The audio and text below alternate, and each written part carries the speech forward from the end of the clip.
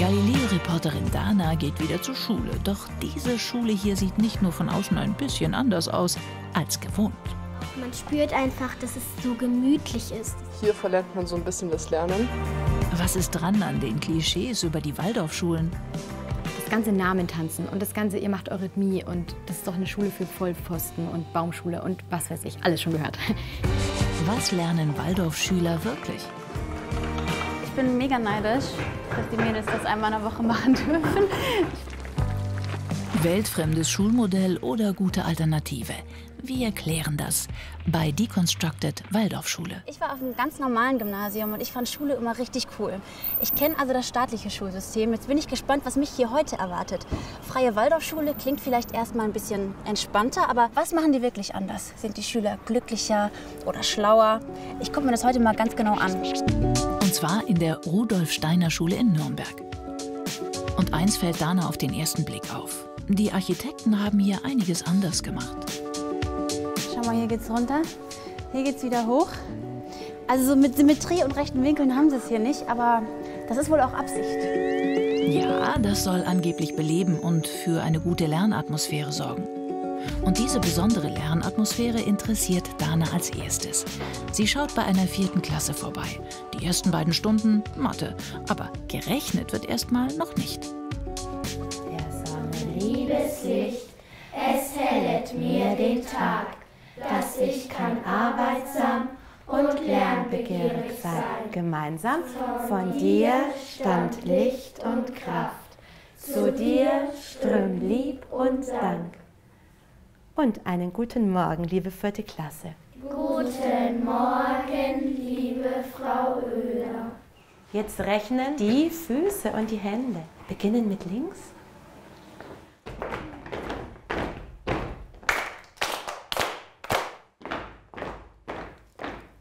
Rhythmus ist laut Waldorf-Konzept eine Grundkraft des Lernens und passt deswegen auch zu einem Fach wie Mathematik. Und was steckt noch dahinter? Wir glauben, dass innere Beweglichkeit und Geschicklichkeit sich dann auch im Kognitiven widerspiegelt und zu einer äh, angewandten ja, Beweglichkeit und Geschicklichkeit führt. Außerdem ist es ein schönes gemeinschaftliches Erleben am Morgen. Wir kommen an als Gruppe. Alle kommen irgendwo her und wir finden uns zusammen und beginnen gemeinsam den Tag und stimmen uns ein. Der Vater, Vater der. Dana fragt bei Schülerin Ellie nach, was sie davon hält. Ich habe jetzt gerade zum allerersten Mal dieses Morgenritual gemacht oder auch das mit dem Stampfen und dem Klatschen. Gefällt dir das? Also ich finde es gut, dass wir erstmal dann uns richtig wach machen können und dann erstmal etwas mit Musik zu tun haben, nicht gleich irgendwie, so jetzt machen wir Mathe und dass man dann erstmal aufwachen kann. Es geht in die Welt der Zahlen. Erst jetzt sollen die Kinder bereit sein für die Kopfarbeit. Heute Bruchrechnen. Leistungsdruck gibt es keinen. Alle kommen weiter. Es gibt keine Noten und kein Sitzenbleiben. Die Kinder sollen ohne Lernstress lernen. Ein Modell aus Deutschland, das sich auf der ganzen Welt verbreitet hat. In 70 Ländern gibt es über 1000 Waldorfschulen, 253 davon in Deutschland. Über 90.000 Kinder gehen auf die Waldorfschule. Umsonst ist das nicht. Eltern müssen im Durchschnitt 200 Euro pro Monat zahlen, gestaffelt nach Gehalt. Das meiste Geld kommt vom Staat, der bis zu 80 Prozent der Schulkosten übernimmt. Ein wichtiges Waldorf-Prinzip? Die Klassenlehrerin wird diese Schüler bis zur 8. Klasse unterrichten. Also keine Trennung nach der Grundschule. In diesen acht Schuljahren unterrichtet Frau Oehler alle Hauptfächer. Staatliche Lehrpläne muss sie nicht erfüllen. Die Waldorfschulen haben eigene. Aber wie kann man so viel unterschiedliches Wissen parat haben? Im stillen Kämmerlein fleißig vorbereiten und immer wieder die Kinder vor mein inneres Auge holen und mir vorzustellen, was braucht es, wie muss ich das herunterbrechen und vermitteln, damit die Kinder Schritt für Schritt folgen können. Und Dana? Also zwei Stunden Matheunterricht habe ich aus meiner Schulzeit ein bisschen anders in Erinnerung. Wir haben jetzt heute hier geklatscht, wir haben Flöte gespielt, wir haben gebastelt, ein bisschen Bruchrechnung gemacht, also alles Mögliche. Das ist natürlich abwechslungsreich, aber es kann auch ein bisschen viel sein vielleicht.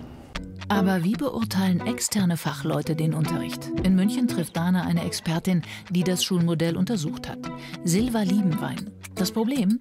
Waldorfschulen machen bei Leistungsstudien wie PISA nicht mit. Man weiß also nicht genau, wie viel Wissen dort vermittelt wird. Den Stoff so zu vermitteln, dass er alle Sinne bei den Kindern anspricht und sie auch emotional anspricht, das ist das Ziel. Und eben deswegen wird eher so dieser Gedanke, dass man Lehrinhalte durchpeitscht, abgelehnt in der Waldorfschule. Ihre Studie ergab, Waldorfkinder sind dafür glücklicher. Sie haben deutlich mehr Lernfreude als die Normalos auf der Regelschule.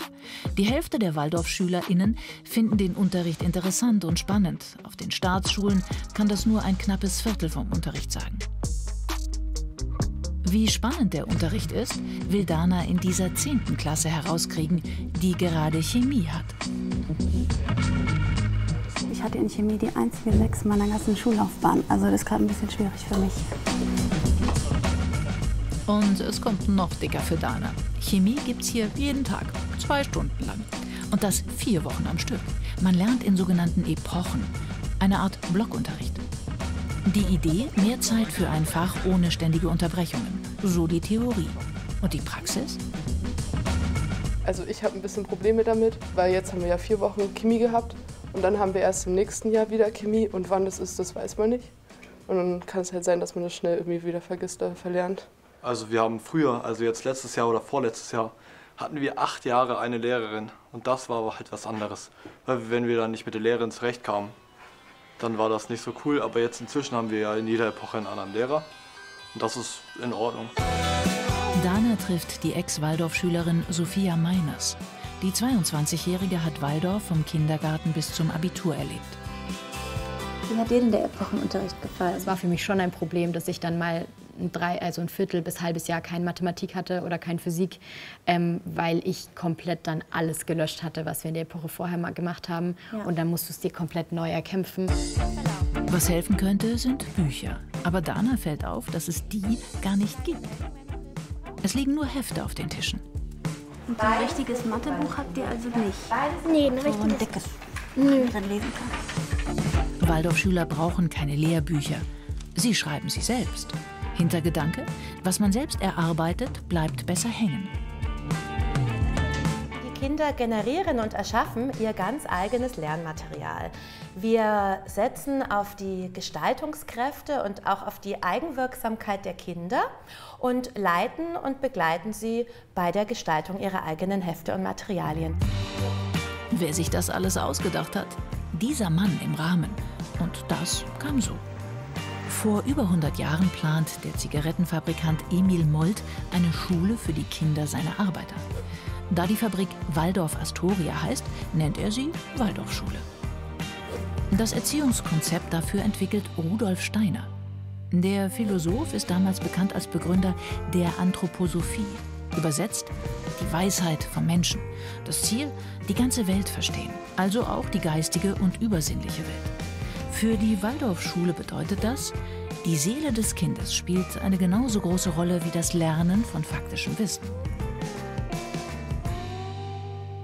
Weiter geht's mit Eurythmie. Ein bisschen Angst, ehrlich gesagt. Dana hat als Regelschülerin keine Ahnung von Eurythmie, darf aber mitmachen. Rudolf Steiner hat dieses besondere Fach entwickelt, das es nur an Waldorfschulen gibt.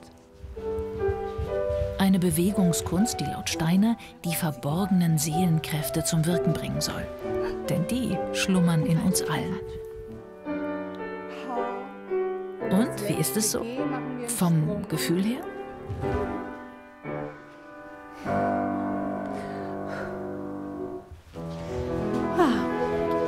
Ich dachte, hier tanzt man seinen Namen. Aber es ist recht anspruchsvoll. Ist auch ganz schön, ehrlich gesagt.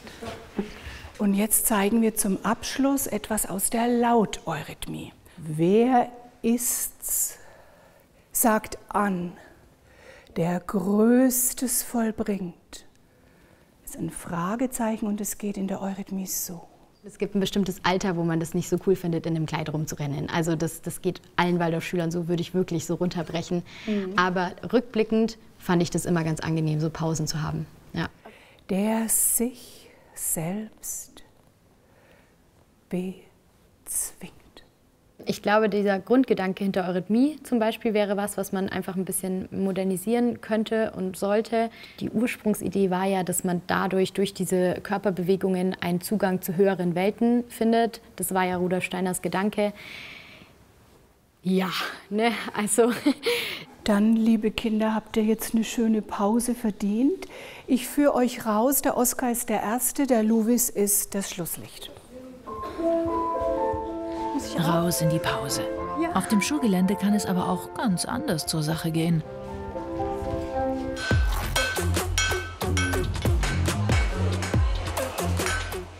Hier wird zwar nicht getanzt, aber diese achte Klasse macht etwas, das Dana aus ihrer Schulzeit nicht kennt. Ich bin mega neidisch, dass die Mädels das einmal in der Woche machen dürfen. Ich finde das total cool. Ich durfte früher, glaube ich, in der Grundschule mal ein halbes Jahr Werkunterricht machen. Das war's. Hier nicht. An Waldorfschulen sollen die Kinder mit Kopf, Herz und Hand lernen. Also nicht nur denken. Was mache ich denn, wenn ich zwei linke Hände habe und in diesen künstlerisch kreativen Fächern überhaupt nicht zurechtkomme? Da ist die Waldorfpädagogik wie alle anderen reformpädagogischen Strömungen absolut der Ansicht, dass jedes Kind ein Künstler ist. Also ein für Kunst unbegabtes Kind gibt es nicht. Danas Probeunterricht geht jetzt draußen weiter. Sieht aus wie eine Gärtnerei, ist aber Schule. Unsere Reporterin ist mit einem Lehrer verabredet, der auch Gärtnern kann. Gartenbau ist nämlich Pflichtfach an Waldorfschulen.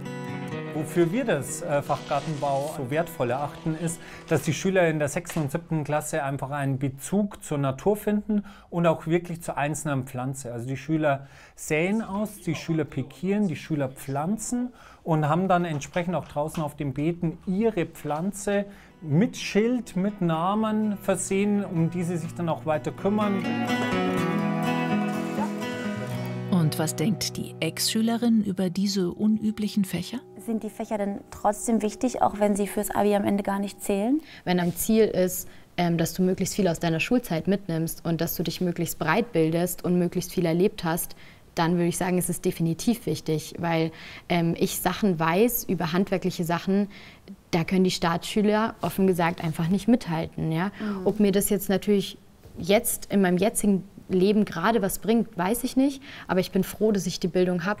Auf Wiedersehen, liebe Klasse 7b. Auf Wiedersehen, lieber Herr Wilpert.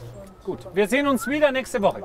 Eigentlich ist es total cool, wenn man weiß, wie man sein eigenes Gemüse anbauen kann und wie vielleicht auch zu Hause die Zimmerpflanzen nicht eingehen. Also cooles Fach. Es läuft hier vieles anders. Gartenbau als Pflichtfach, aber auch Französisch ab der ersten Klasse. Bonjour, chers enfants. Bonjour, Die Kinder bleiben bis zur 12. Klasse zusammen, unabhängig vom Leistungsstand. Schüler werden also nicht aufgeteilt auf Gymnasium, Realschule oder Hauptschule. Sie bleiben zusammen, müssen aber auch zusammenbleiben.